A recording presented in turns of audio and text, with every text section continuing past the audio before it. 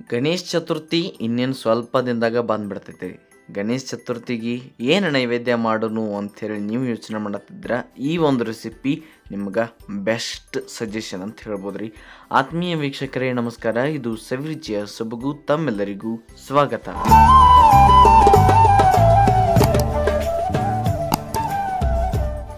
ಹಂಗಾದ್ರೆ ಈ ನೈವೇದ್ಯಕ್ಕೆ ಏನೇನು ಬೇಕಂತೇಳಿ ಒಂದ್ಸಲಿ ತೋರಿಸ್ಬಿಡ್ತೇನೆ ರೀ ಒಂದು ಅರ್ಧ ಕಪ್ ಅಷ್ಟು ಅಕ್ಕಿ ಹಿಟ್ಟನ್ನು ನೀವು ತೊಗೋಬೇಕಾಕೈತೆ ಆಮೇಲೆ ಒಂದು ಕಪ್ ಬೆಲ್ಲ ಸಾಕಾಕೈತ್ರಿ. ಒಂದು ಕಪ್ ಬೆಲ್ಲ ತೊಗೋರಿ.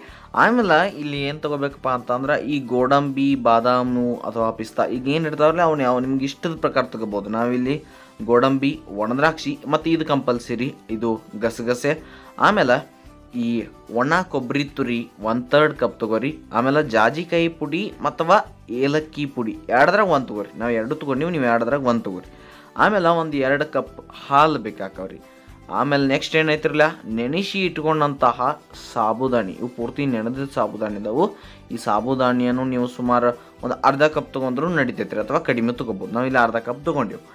ಏನು ಮಾಡ್ಬೇಕ್ರಿ ಫಸ್ಟಿಗೆ ಹಂಗಾದ್ರೆ? ನಾವು ಈಗ ಏನು ತೊಗೊಂಡಿವ್ರಲ್ಲ? ಒಂದು ಕಪ್ ಬೆಲ್ಲ. ಆ ಬೆಲ್ಲ ನೀರು ಹಾಕಿ ಕರಗಿಸ್ಕೊಳತ್ತೀವಿ. ಪಾಕ ಮಾಡತ್ತಿಲ್ರಿ. ಈ ಮುಕ್ಕಾಲು ಕಪ್ ನೀರು ಹಾಕಿ ನೀವು ಕರಗಿಸ್ಕೊಬೇಕ್ರಿ ಬೆಲ್ಲ. ಬೆಲ್ಲ ಪೂರ್ತಿ ಕರಗಲಿ. ಅಲ್ಲಿ ತನಕ ನಾವು ಬಿಟ್ಬಿಟ್ಟು ನೋಡ್ರಿ. ಬೆಲ್ಲ ಕರಗಿದ ಮೇಲೆ ನೀವು ನೋಡ್ಬೋದು. ನೆಕ್ಸ್ಟ್ ಅದನ್ನು ನಾವು ಸೋಸ್ಕೊಳತ್ತೀವಿ. ಒಂದು ಕಡೆ ಸೋಸಿ, ಒಂದು ಸ್ವಲ್ಪ ಒಂದು ಕಡೆ ಸೋಸಿ ಉಳ್ದಿದ್ದನ್ನು ಅಲ್ಲೇ ಇಟ್ಟಿವಿ. ಅಂದ್ರೆ ಈ ಸೋಸಿದ್ದು ಈ ಕಡೆ ಕುದಿಯಕ್ಕೆ ಆಮೇಲೆ ಉಳಿದಿದ್ದನ್ನು ಇನ್ನೊಂದು ಸ್ವಲ್ಪ ನಾವು ಕುದಿಸಾತೀವಿ ಒಂದು ಎರಡು ನಿಮಿಷ, ಅದು ಇನ್ನೊಂದು ಎರಡು ನಿಮಿಷ ಕುದಿಬೇಕ್ರಿ. ಆಮೇಲೆ ಈಗ ಏನು ಸೋಸಿದ್ದು ಐತಿರಲ್ಲ ಈ ಸೋಸಿದ ಬೆಲ್ಲದ ನೀರ್ದಾಗ ನಾವು ಒಂದು ಅರ್ಧ ಕಪ್ ಈ ಅಕ್ಕಿ ಹಿಟ್ಟನ್ನು ಹಾಕತ್ತೀವಿ. ನೆನಪಿರಲ್ರಿ? ಸೋಸಿದ್ದು, ಇಲ್ಲಿ ಹಾಕಿದ್ದೀವಿ ಸೋಸಿದ್ರಾಗ ಈ ಅಕ್ಕಿ ಹಿಟ್ಟು ಹಾಕಿದ್ದೀವಿ ಉಳಿದಿದ್ದನ್ನ ಹಂಗೆ ಕುದಿಯಾತೈತ್ರಿ ಸ್ವಲ್ಪ. ಈಗ ನೋಡ್ಬೋದು ನೀವು, ಅಕ್ಕಿ ಹಿಟ್ಟು ಹಾಕಿದ ಮೇಲೆ ನಾವು ಕರೆಕ್ಟ್ ಆಗಿದ್ದನ್ನು ಮಿಕ್ಸ್ ಮಾಡಬೇಕು. ಇಲ್ಲಿ ಯಾವುದೇ ಥರದ ನೀವು ನೀರದು ಎಕ್ಸ್ಟ್ರಾ ಸೇರಿಸೋದು ಬೇಕಾಗಿಲ್ಲ ರೀ ಆಮೇಲೆ ಸೇರಿಸಬಾರ್ದು ಹೌದು. ಸೇರ್ಸಕ್ಕೆ ಹೋಗ್ಬೇಡ್ರಿ ನೀರದು ಈಗ ಅದನ್ನು ನೀವು ಮೊದಲಿಗೆ ಚೆನ್ನಾಗಿ ಮಿಕ್ಸ್ ಮಾಡಿರಿ. ಮಿಕ್ಸ್ ಮಾಡಿದ ಆದಮೇಲೆ ಏನು ಮಾಡಬೇಕಪ್ಪ ಅಂತಂದ್ರೆ ಈ ಕೊಬ್ಬರಿ ತುರಿ ಐತಿರಲ್ಲ, ಒಣ ಕೊಬ್ಬರಿ ತೊಗೊಂಡು ಕೊಬ್ಬರಿ ತೊಗೊಂಡಿರ್ತೀವಿ ನಾವು. ಒಣ ಕೊಬ್ಬರಿ ತುರಿಯನ್ನು ನಾವು ಇದ್ರಾಗ ಹಾಕಿ ಮತ್ತೊಂದು ಸ್ವಲ್ಪ ಮಿಕ್ಸ್ ಮಾಡಿ ಈಗ ಅದನ್ನು ಗ್ಯಾಸ್ ಆಫ್ ಮಾಡಿ ತೆಳಗೆ ತೊಗೊಂಡು ಬಿಟ್ಬಿಡ್ರಿ. ಈ ಕಡೆ ನೋಡ್ಬೋದು ನೀವು, ನಾವು ಮತ್ತೊಂದು ಒಂದು ಸಣ್ಣ ಬೌಲ್ನಾಗ ಈ ಹಾಲು ಹಾಕತ್ತೀವಿ. ಎರಡು ಕಪ್ ಹಾಲು ಹಾಕಿ ಅದಕ್ಕೆ ಸುಮಾರು ಒನ್ ತರ್ಡ್ ಕಪ್ ನೀರು ಹಾಕಿ ನೀವು ಕುದಿಯಕ್ಕೆ ಅದನ್ನು. ಈ ಕಡೆ ಒಂದು ಪ್ಲೇಟ್ನಾಗ ನಾವು ಸ್ವಲ್ಪ ತುಪ್ಪ ಹಾಕಿ ಇದೇನೀಗ ಬೆಲ್ಲ ಮತ್ತು, ಬೆಲ್ಲದ ನೀರ ಮತ್ತು ಅಕ್ಕಿ, ಹಿಟ್ಟು ಕಲಿಸಿಟ್ಟಿದ್ದೀವ್ರಲ್ಲ ಅದನ್ನು ಸ್ವಲ್ಪ ನಾವು ತುಪ್ಪ ಪ್ಲೇಟಿಗೆ ಹಚ್ಚಿ ನಾದ್ಕೊಳ್ಬೇಕು ರೀ ಅಂದ್ರೆ ಸ್ವಲ್ಪ ಹದ ಮಾಡಿರಿ ಅದನ್ನು. ಹದ ಮಾಡಿರಿ, ಈ ಕಡೆ ಹಾಲು ಕುದಿಯತ್ತವು ಹಾಲು ಕುದಿದ್ರೊಳಗೆ ನೀವು ಈ ಸಾಬುದಾನಿಯನ್ನು ಹಾಕಿ ಸ್ವಲ್ಪ ಮಿಕ್ಸ್ ಮಾಡಿ ಕುದಿಯಾಕೆ ಬಿಟ್ಬಿಡ್ರಿ. ನೆನೆದಂಥ ಸಾಬುದಾನಿ ಇದಾವು, ನೀವು ಮಗ ನಿಮ್ಗೆ ಆಗಲೇ ನಾ ಹೇಳಿದ್ದೀನಿ ರೀ ಇವು ನೆನೆದಂಥ ಸಾಬುದಾನಿ ಇದಾವು, ಒಂದು ಸ್ವಲ್ಪ ನೀವು ಕುದ್ಯಾಕೆ ಬಿಡ್ರಿ. ಅವ ಕುದಿ ಮಟ್ಟ ಏನು ಮಾಡಬೇಕಪ್ಪ ಅಂತಂದ್ರೆ ಇದೇನು ನೀವು ಅಕ್ಕಿ ಹಿಟ್ಟು ಮತ್ತು ಬೆಲ್ಲ ಇದೆಲ್ಲ ಸೇರಿಸಿ ಇಟ್ಟಿದ್ದಿರಲಿ ಈಗ ನಾದಿ ಹದ ಮಾಡಿ ಇಟ್ಟಿರಲಿ, ಇದರಲ್ಲಿ ಈ ರೀತಿ ಉದ್ದುದ್ದನು ಉಳ್ಳಿ ಮಾಡ್ಬೇಕಾಕೈತೆ ರೀ ಈ ರೀತಿ ಉದ್ದು ಒಂಥರ ನೂಡಲ್ಸ್ ಟೈಪ್ ಅಂತಾನೆ ಹೇಳ್ಬೋದು ರೀ ನೋಡ್ಬೋದು ನೀವು? ಅದ ಟೈಪ್ ಆಗತ್ತವು ನೀವು. ಈ ಅರ್ಧ ಕಪ್ ಅಕ್ಕಿ ಹಿಟ್ಟಿನಾಗ ಎಷ್ಟು ಹಾಕವು ಅಟ್ ಮಾಡ್ಬೇಕು. ಇಷ್ಟ ರೀ ಇದು ಸ್ಮಾಲ್ ಸೈಜು ಅಥವಾ ದೊಡ್ಡ, ನಿಮ್ಗೆ ಇಷ್ಟದ ಪ್ರಕಾರ. ಬಟ್ ಭಾಳ ಏನು ದಪ್ಪ ಮಾಡ್ಕೊಳಕ್ಕೆ ಬೇಡ್ರಿ, ಸ್ವಲ್ಪ ತಿಳು ಇರಲಿ. ನನ್ನ ಇದು ವಯ ವೈಯಕ್ತಿಕ ಅಭಿಪ್ರಾಯ ಅಂತ ಹೇಳ್ಬೋದು ರೀ ಸ್ವಲ್ಪ ತಿಳು ಇದ್ರೆ ನಡಿತೈತಿ.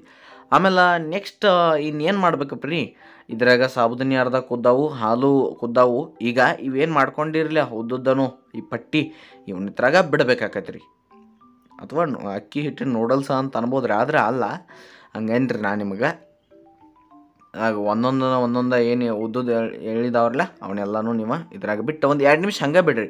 ಅಂದರೆ ಚಮಚ ಅದು ತಿರುಗಿಸಾಕ ಹೋಗಬೇಡ್ರಿ. ಒಂದು ಎರಡು ನಿಮಿಷ ಆದಮೇಲೆ ನೀವು ತಿರ್ಬೇಡ್ರಿ ಬರಬ್ಬರಿ ಕುದಿತಾವು. ಈಗ ನೀವು ನೋಡ್ಬೋದು ರೀ ಕುದ್ಯಾತೈತಿ.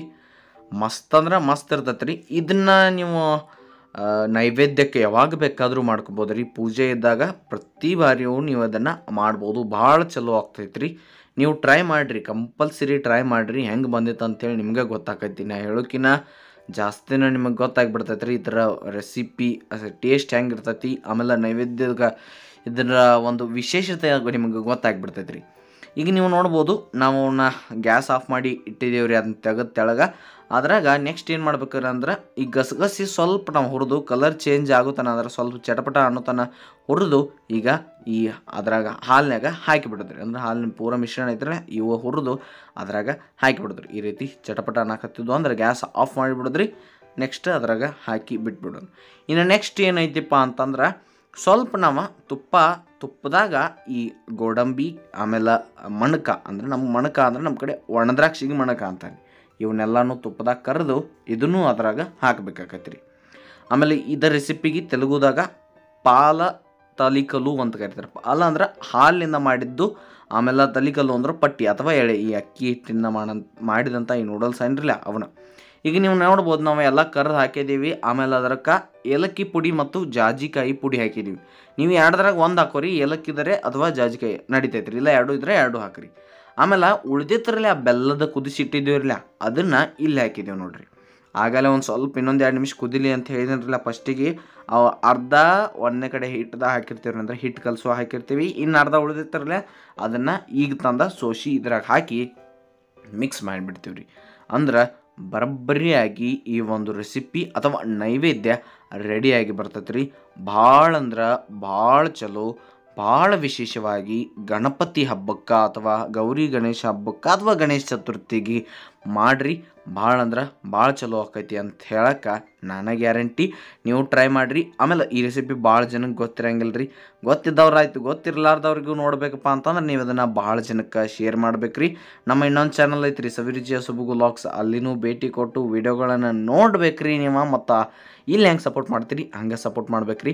ಮತ್ತು ನಾವು ಮಾಡಿದ ಎಲ್ಲ ಅಡುಗೆಗಳನ್ನು ಟ್ರೈ ಮಾಡಿರಿ. ಮನೆ ಮಧ್ಯೆಲ್ಲ ಕೂಡಿ, ಪ್ರೀತಿಯಿಂದ ತಿನ್ನಿರಿ ಅಂತ ಹೇಳ್ತಾ ನೆನಪಿರಲಿ. ಇದು ಸವಿರುಚಿಯ ಸುಬುಗು. ಧನ್ಯವಾದಗಳು.